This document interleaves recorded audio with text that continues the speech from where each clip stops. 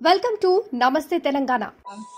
కొలువైన శివుడా రక్తబంధం నీకు నీకు తెలియదురా.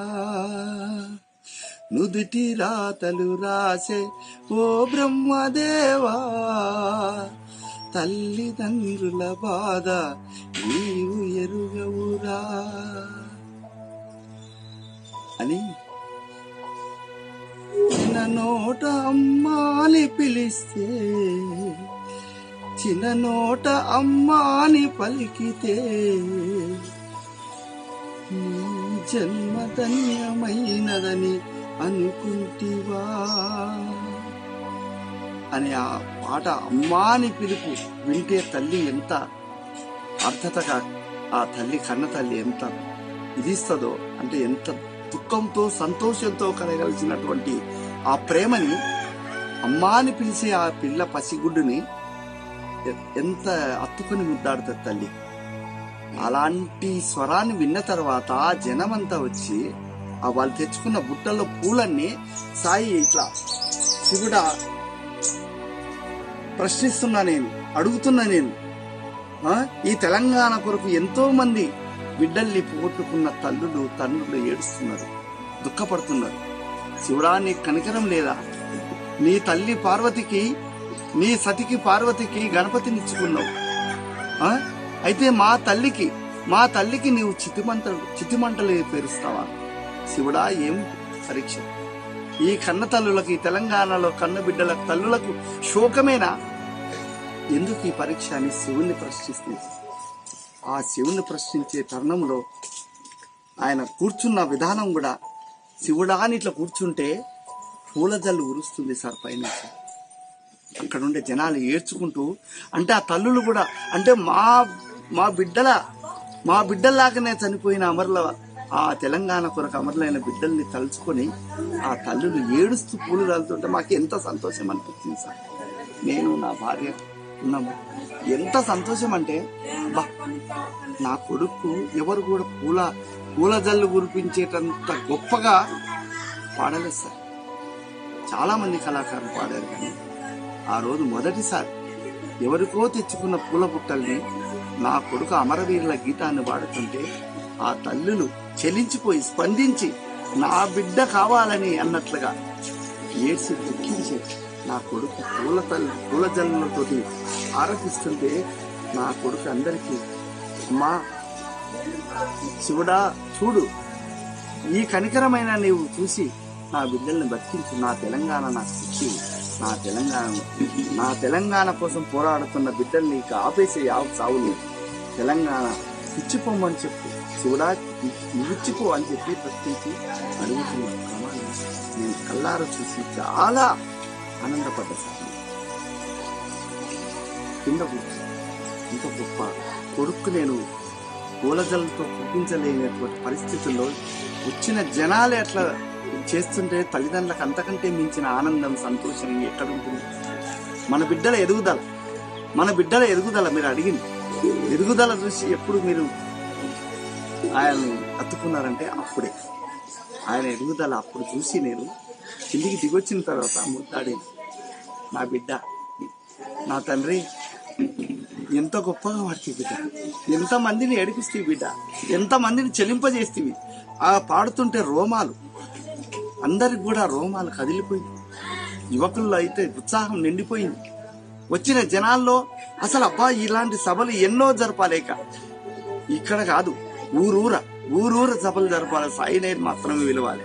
సాయి చంద్రుని ఒక్కనే పిలిచి సభ పెట్టుకోవాలని చెప్పి వెంటనే ఆ రెండు వేల పదిలో అక్కడ జరిగింది. రెండు వేల పదకొండు మార్చిలో మా ఊర్లో అమర్చించలో దాదాపు ఒక ముప్పై నలభై వేల మందితో హై స్కూల్ గ్రౌండ్లో సభ జరిగింది. అప్పుడు నా కొడుకు నా కొడుకుని రసమైనే నా కొడుకుని ఆహ్వానించింది. దేశాయ ప్రకాశ్ రెడ్డి సార్ అనే మాజీ అడ్వకేట్ జనరల్ ఉండే ఆయన. ప్రత్యేకంగా మన ఊరి కళాకారుడు సాయి చేతి అని ఆయన కొరకే సభ పెట్టాలని చెప్పి ఆ రోజు తెలంగాణ ఉద్యమం కొరకు సాయిని పిలిచిండు రసమై థీముని పిలిచిండు. ఇక సాయి ఈ ఊరు వాడు ఇక్కడ చిన్నప్పటి నుంచి ప్రైమరీ స్కూల్ నుంచి ఇక్కడే చదువుకున్నాడు. హై స్కూల్ ఎస్సీ కాలేజ్ చదువుకున్నాడు. హై స్కూల్లో చదువుకున్నాడు. గవర్నమెంట్ స్కూలే ఆత్మకుల్ల కాలేజ్ చదువుకున్నాడు. ఇట్లా ఈ ప్రాంతంలో చదువుకున్న వ్యక్తులు ఈ ప్రాంతంలో ఉండేటటువంటి ఆటలు చిన్నప్పుడు మనం చిన్నప్పుడు ఉన్నప్పుడు మా ఊళ్ళో ఎక్కువ సీసంగొల్లి ఆటలు గిల్లదండ ఆటలు గిచ్చలాటలు చింతపాల గిచ్చలాటలు తర్వాత చింతబిచ్చల ఆటలు తర్వాత ఇట్లాంటి బొంగరాల ఆటలు తాడు బొంగరం ఆట తర్వాత బాణాలతో ఆడుకునే ఆట ఇలాంటి ఆటల మీద నా పల్లె యాదికొచ్చేరో సాయన్న అని తన మీద పాట రాసుకున్నాను. నా పల్లె యాదికొచ్చేరో సాయన్న ఆ రోజులు ఎట్లా మర్చిపోదురో సాయన్న అని ఒక పాట రాసుకున్నాడు మా ఊరి మా ఊరి తన ఆడుకున్న ఆటల మీద చిన్నప్పుడు నుంచి అంటే ఒక ఐదేళ్ళ వయసు నుంచి పిల్లలు ఆడుకుంటారు ఐదేళ్ళ నుంచి పదేళ్ళ వయసుకు ఉండే ఆటలు వేరు పదేళ్ళ నుంచి పదిహేనేళ్ళ వరకు ఉండుకునే ఆడుకునే ఆటలు వేరే ఉంటాయి. ఆ ఆటల గురించి తన ఆటలు సీసంగొల్లిల ఆటను మర్చిపోలే ఇళ్ళదండ ఆట మర్చిపోలే. ఆ పాట వాడుతుంటే అదే కాదు తను ఆటలు తర్వాత తను చిన్నప్పుడు మనము బావులలో అప్పుడు ఉండే అప్పుడు ఆ ప్రాంతంలో అప్పుడు బావులలో ఈత కొట్టే ఆటలు ఉంటుంది. బావులలో తప్పకుండా ఎండాకాలం వస్తే స్కూల్ విద్యార్థులంతా ఇంకా బావులలోనే బావుల్లో వెళ్ళేది ఈతలు ఆడుకునేది ఈతల్లో కూడా ఆటలు ఉంటాయి అందులో సైన్సిళ్ళు తర్వాత ఇట్లాంటివి ఎన్నో ఉంటాయి ఈతలు అట్లా బావులలో ఈతలు కొట్టుతుంటే బాయోడు వచ్చి బర్రె చేతిలో బర్రెగా బర్రె పట్టుకొని ఎంబడిస్తుంటే చెడ్డీలు పట్టుకొని ఉరికిన పొలాల్లో ఉరుకుతుంటే ఆ ఆనందము ఎక్కడ వాయరో సాయన్న అని అన్న. అంటే ఆ అక్కడ బావిలో ఈత కొట్టేటప్పుడు యజమాని వచ్చి అదిలిస్తే మన ఉరుకులు పరుగులు చూసి ఆ రోజు కళ నాకు నా కళలో వచ్చి యాదికొచ్చింది నా పల్లె. తర్వాత మా ఊళ్ళో ప్రత్యేకంగా పెద్ద పీర్ల పండుగ చాలా బ్రహ్మాండం జరుగుతుంది. ఆ పీర్ల పండుగ రోజు ఎంతమంది అంటే మేము లాస్ట్ రోజు రేపు సవారీ అన్నప్పుడు లాస్ట్ సవారి కంటే ముందు రాత్రి అందరము ఆ రోజు అలాయి బలాయి తీసుకు అలాయి ఆడుతుంటాం మా ఊళ్ళో పెద్దగా. అలాంటి ఆటల రోజు మొత్తం మేమందరం కూడా మాకుండే సాపలో పొందకూరలో యావో తీసుకుపోయి ఆడ ప్లేస్ పట్టుకొని తెల్లగా వరకు పెద్ద పీరు లేసే వరకు మేము అర్ధరాత్రి తెల్లగాయ వరకు అలాయి బలాయి ఆడుకుంటూ ఆ ఆటలు చూస్తూ ఆనందం పంచుకున్న రోజులు ఎటుపాయరు ఆ పీర్ల పండుగల జోషి ఎటువాయరు అని చెప్పి ఆ పల్లె గురించి నా మా ఊరు గురించి ఆ యాదిలో వచ్చింది నాకు తర్వాత రాజన్న దర్గ ఉరుసు అని మా ఊళ్ళో ఉరుసు కూడా పెద్దగా ఆ రాజన్న దుర్గ ఉరుసు ఎంత గొప్ప జరుగుతుంది? ఆ ఉరుసులో మేము ఆడుకున్న ఆటలు ఆ ఉరుసులో నేను పాడుకున్న పాటలు ఆ ఉరుసులో కొనుక్కున్న వస్తువులు ఆ ఉరుసులో మేము తిన్న తీపి పదార్థాలు ఎంత రుచిగా ఉండేదో ఎంత ఆనందం ఉండేదో మా క్లాస్మేట్లతో మేము ఆ ఉరుసు మూడు రోజులు జరుగుతుంది.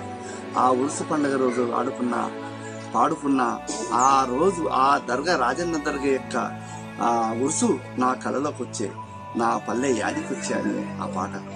తర్వాత ఆ రాజన్న దర్గా ఉరుసులోనే అక్కడ పాటల పోటీ పెట్టి ఆరవ తరగతి చదువుతున్నప్పుడు అక్కడ అరతర జరుగుతున్నప్పుడు ఆ పాట పాడింది. సా- ఆ చల్లని సముద్ర గర్భం అనే పాట మీరు వినండి ఆ చల్లని సముద్ర గర్భం ఆ చల్లని సముద్ర గర్భం రాసిన బలవానలమెంతో అని ఆ పాట పాడి అంత గొప్ప రాగం ఉంటుంది దానికి. దాశరథి కృష్ణమాచార్యులు రాసింది ఆ పాట పాడి ఫస్ట్ ప్రైజ్ తీసుకున్నాడు ఎమ్మెల్యే మొన్ననే చనిపోయిన దయాకర్ రెడ్డి సార్ ఎమ్మెల్యే ఉండే అమర్చింత ఎమ్మెల్యే ఉండే.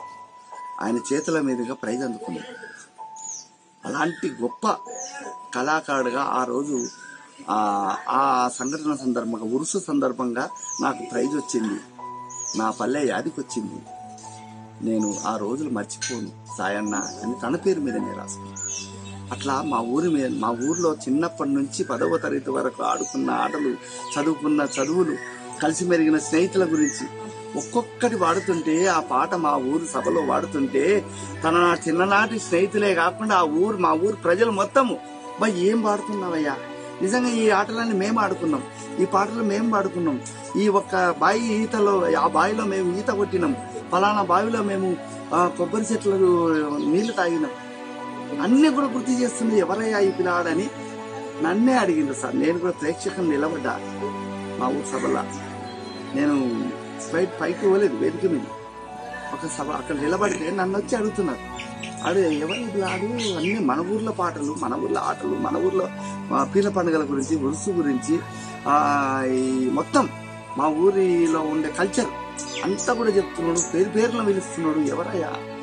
అభిలాడు నీకు తెలుసా అని నన్ను అడిగి ఒక మనిషి వచ్చి. అంటే తెలియదా నీకు?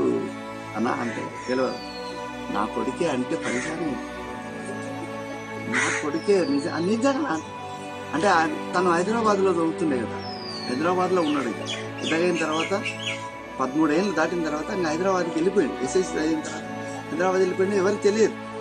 నా కొడుకే అంటే పరిశానం ఏ నిజం చెప్పండి నిజం నా కొడుకే.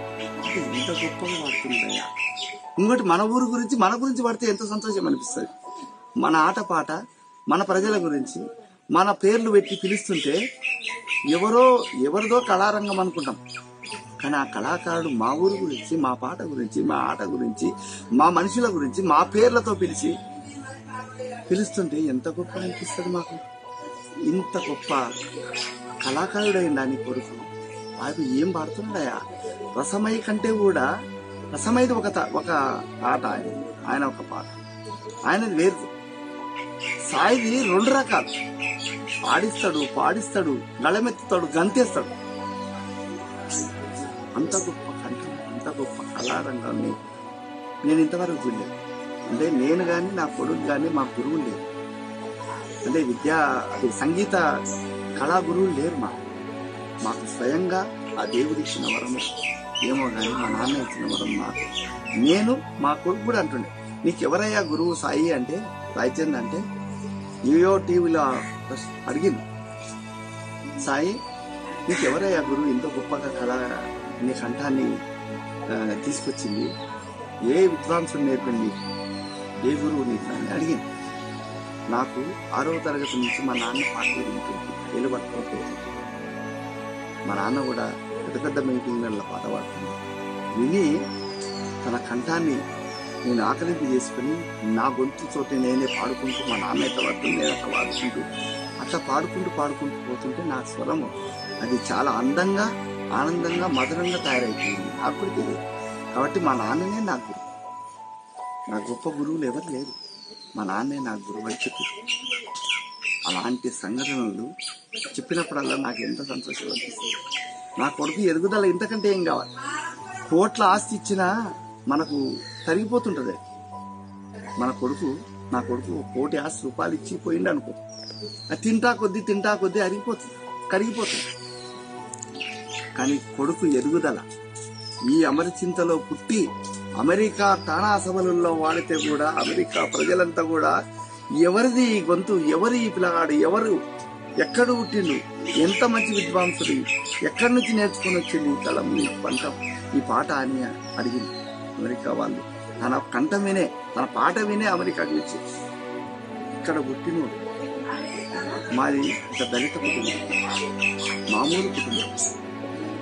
మాది చాలా అతి పేద కుటుంబం ఒకప్పుడు. ఒక రెండు వందల రూపాయల అలవెన్స్ తోటి జీవించినటువంటి కుటుంబం నాది ఇద్దరు కొడుకులు. పోషించుకున్న మా భార్య బీడీ కార్మికుల అట్లా చిన్న కుటుంబం నాది అట్లాంటి చిన్న కుటుంబంలో ఇక్కడే ఉన్నది ఆయన నా కొడుకు. ఈ చెట్టు కూడా తనే పాటిపోయింది సార్. ఆరవ తరగతిలో స్కూళ్ళల్లో మొక్కలు ఇచ్చింది వర్షాకాలం. తీసుకొచ్చింది. అప్పుడే మేము ఇల్లు కట్టినాం. నైన్టీ వన్లో ఇల్లు. అప్పుడు తను ఆరవ తరగతి చదువుతుంది. తీసుకొచ్చి ఈయన పాతింది. చాలా చెట్లు ఉండే. తను నా మొక్క నాటిన మొక్క ఇది. ఇది ఇంకా కొద్ది పెంచుకుంటూ పెంచుకుంటూ నాకు ఏమనిపించిందంటే నా కొడుకు పెంచింది. పాతిన ఈ మొక్కని నిన్ను ఇట్లే ఉంచాలి కొంతకాలం అని చెప్పి అనుకున్నా. ఆ తర్వాత తర్వాత నాకేమనిపించిందంటే నా కొడుకు ఇంత ఎదుగుతున్నాడు పాటల రూపకంగా అంతా ఎదిగిపోతున్నాడు. ఈ చెట్టును కూడా నేను నా తన గుర్తుగా అప్పుడు వాచిన గుర్తుగా నాకు నా నీడనిస్తుంది. నా ఇంట్లో పది మంది ఇంటి పక్క ఇంటి ముందర వచ్చి కూర్చోవడానికి ఒక నీడనిస్తుంది. పది మందికి పెళ్ళిళ్ళకు కూడా పందిరేసుకోవడానికి ఆపిస్తుంది. ఇన్ని రకాలుగా ఈ చెట్టు ఉపయోగపడుతుంది. ఉండాలి నా కొడుకు గుర్తుగా అనిపిస్తుంది చెప్పి పెద్దగైనాక. ఇది ఎందుకు చెప్తున్నానంటే ఇంత ప్రత్యేకత. ఎర్రోల శ్రీనివాస్ సార్ వచ్చింది తెలుసు కదా ఎర్రోల శ్రీనివాస్. ఆయన ఒకసారి నా కొడుకెంబడి వచ్చింది వచ్చినప్పుడు ఇంట్లోకి పోయింది. ఇల్లు దర్వాజ తగిలింది నాకు కొడుకు. తల తగిలింది. ఎర్రల శ్రీనివాస్ ఏమో చిన్న ఉన్నాడు. నా కొడుకు ఆరు ఫీట్లో ఒక ఇంచ్ నాకంటే మూడు ఇంచులు ఉన్నాడు. నేను ఐదు ఎయిట్ ఐదు ఎనిమిది ఫీట్లు. అన్నాడు ఎర్రల శ్రీనివాస్ ఏమన్నా అంటే సాయి మీ నాన్న ఎంత ఎత్తున్నాడో అంత ఎత్తు కట్టుకున్నాడు తర్వాత నీకు అందదు నీకు తల ఉంటుంది నీకు దీన్ని పెంచాలని ఈ ఇంటిని మార్చాలి. నీకు ఇంకే మంచిగా చేయాలి. నాన్న నీకు కొరకు అంటే అప్పుడు చెప్పింది. నాన్న ఇదే కాదు. శ్రీనివాస్ నాన్న నేను చిన్నప్పుడు వాటిన చెట్టును కూడా గుర్తుగా నాకు ఇంత పెద్ద గుర్తుని నిలబెట్టింది నాకు. ఇది ఎవరిది అంటే నా కొడుకుదని చెప్పుకొని ముగిసిపోతుంది మా నాన్న ఉంటారు నన్నే కాదు నా చెట్టును కూడా పెంచింది. ఆ చెట్టును చూసి కూడా మురిసిపోతున్నాడు. ఆ నీడను చూసి తను పరవశించిపోతున్నాడు అని చెప్తున్నాడు. ఒక కవి కూడా వచ్చింది హరీష్ అనే ఒక కవి. ఆయన వస్తే కూడా ఇదే చెప్పిండు. ఏం కుటుంబం అయ్యా మీది నాన్న? ఎంత మంచి కుటుంబం మీది. ఒక ఆయన ఏమో మిలిటరీలో పోయింది పెద్ద కొడుకు మిలిటరీలో పోయింది రీసెంట్లీ రెండు వేల ఇరవై ఒకటిలో కరోనా టైంలో ఆయనకు కాలేయం బాలేక చనిపోయారు ఆ సమయంలో నా కొడుకే మొత్తం దాన సంస్కారాల కానించి దశదిన కర్మ వరకు అన్ని తనే నిర్వహించి అన్ని వేసిపోయి అందరిని హరీశ్రావు ఆ రోజు వచ్చింది కదా ఇదే చెట్టు కింద కూర్చున్నారు హరీశ్రావు చెట్టు కింద చిన్న కుక్ చేసుకొని నా సాయి కొరకు వచ్చింది. సాయి చంద్ కొరకు మాత్రమే. అప్పటికే ఆయన మినిస్టర్ కాడు క్యాబినెట్ హోదా లేదు ఏ పదవి లేదు. కేవలం కళాకారుడు. అలాంటి కళాకారుని మెచ్చి తను నచ్చి సాయి కొరకే వచ్చింది. వచ్చి నా చెట్టు కింద ఈ చిన్న ఇంటికి వచ్చి చిన్న కుర్చీ వేసుకొని కూర్చొని ఆ పద్దినాల కర్మని చూసి మాతో ఫోటోలు దిగి మేము పెట్టినటువంటి పలహారం తిని భోజనం చేసి మమ్మల్ని ఎంతో సంతృప్తినిచ్చి మా కొడుకుకు మా పెద్ద కొడుకు భార్య పిల్లలకు కూడా భరోసా ఇచ్చి నా చిన్న కొడుకు నుంచి హరీష్ రావుతో పాటు అన్ని అందరు వచ్చింది శ్రీనివాస్ గౌడ్ వచ్చింది మొత్తం నాగం జనార్దన్ కానించి గద్వాల్ ఎమ్మెల్యే కానించి తర్వాత వనపర్తి ఎమ్మెల్యే మన నిరంజన్ సార్ లేకుండే ఆ రోజు. ఆయన ఢిల్లీలో ఎక్కడో పోయింది అట్లా మొత్తం చుట్టుముట్టు. గద్వాల కా- గద్వాల ఎమ్మెల్యే తర్వాత అలంపూర్ ఎమ్మెల్యే ఇక్కడ మొత్తల్ ఎమ్మెల్యే అటు కొడంగల్ ఎమ్మెల్యే ఇటు షాద్నగర్ ఎమ్మెల్యే జడ్చల్ల ఎమ్మెల్యే అందరు వచ్చింది సార్. అంటే కేవలం నా కొడుకు. అప్పుడు పదవి లేదు పదవులు ఉంటే వస్తారు. కేబినెట్ మినిస్టర్ హోదా ఉంటే అందరు వస్తారు. ఒక హరీష్ రావు సార్ వచ్చిందని నా కొడుకు కొరకు అందరు ఉరుకులు పరుగులు. ఈ చిన్న రోడ్డు సార్ ఇది మరి. ఈ మట్టి రోడ్డు మీద వచ్చింది? ఆయన మా కొడుకుని అత్తుకొని ఈయనే. హత్తుకొని ఏడ్చి ఆ రోజు నేను నా పెద్ద కొడుకు చనిపోతే కూడా గట్టి గుండెతో నిలబడ్డా సార్ అంతటి కొడుకు మిలిటరీలో పదిహేడు సంవత్సరాల సర్వీస్ పూర్తి చేసిన తర్వాత అలాంటి కొడుకుని ఓడుకున్న తండ్రి ఎంత చూడు ఎంత దుఃఖిస్తాడో మీకు తెలుసు. అంత రెండు సంవత్సరాలు హాస్పిటల్ వైపు తిప్పి తిప్పి తిప్పి తిప్పి బతికించుకోవాలని ఆశతో ఎంతో ప్రయత్నం చేసిన నేను సాయి. చివరికి తను వెళ్ళిపోయింది. వెళ్ళిపోతూ వెళ్ళిపోతూ నాన్న నీకేమి చేయలేకపోతే నీకేమి ఇవ్వలేకపోతే అని ఒక సైనిక వందనం చేసింది సార్ నాకు. ఆ పెద్ద మీకు ఇంటర్ కాబట్టి డాడీ నేను నీకు ఏమి ఇవ్వలే నిజంగా ఆస్తి ఇవ్వలే. నేను సంపాదించిన దాంట్లో నీకు కొంత కూడా ఇవ్వలేదు. తప్పు నాకు తప్పైంది. క్షమించి. నీకు సైనిక వందనం చేస్తున్నాను. రేపు చనిపోతారని చేసేది